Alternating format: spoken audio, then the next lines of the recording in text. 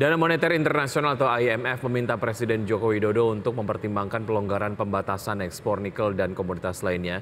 Meski mendukung kebijakan pemerintah Indonesia, namun IMF mencatat setiap kebijakan harus didasari pada analisis biaya serta manfaat yang lebih lanjut dan dirancang untuk meminimalkan dampak lintas batas.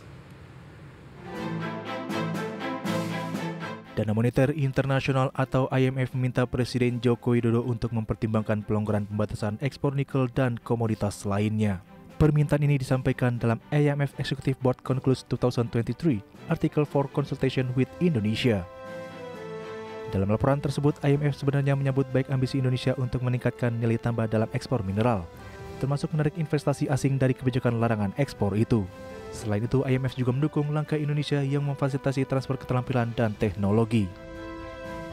Namun IMF mencatat setiap kebijakan harus didasari pada analisis biaya serta manfaat yang lebih lanjut dan dirancang untuk minimalkan dampak lintas batas. Seperti diketahui, pemerintah telah melarang ekspor nikel sejak Januari 2020 yang memberikan manfaat besar ke ekonomi dalam negeri. Sebelum larangan ekspor nikel mentah berlaku, pemerintah mencatat nilai perdagangan yang diraih Indonesia dari penjualan produk tersebut hanya 1,1 miliar US dollar atau setara 17 triliun rupiah.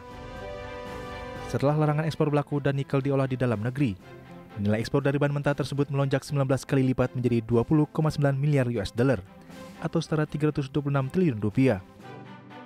Selain nikel, pemerintah juga melarang ekspor bauxit mulai Juni ini. Kebijakan itu dilakukan dengan beberapa pertimbangan, di antaranya meningkatkan nilai tambah bagi ekonomi dalam negeri, meningkatkan penciptaan lapangan kerja baru, serta meningkatkan penerimaan devisa dan menciptakan pertumbuhan ekonomi yang lebih merata di Indonesia.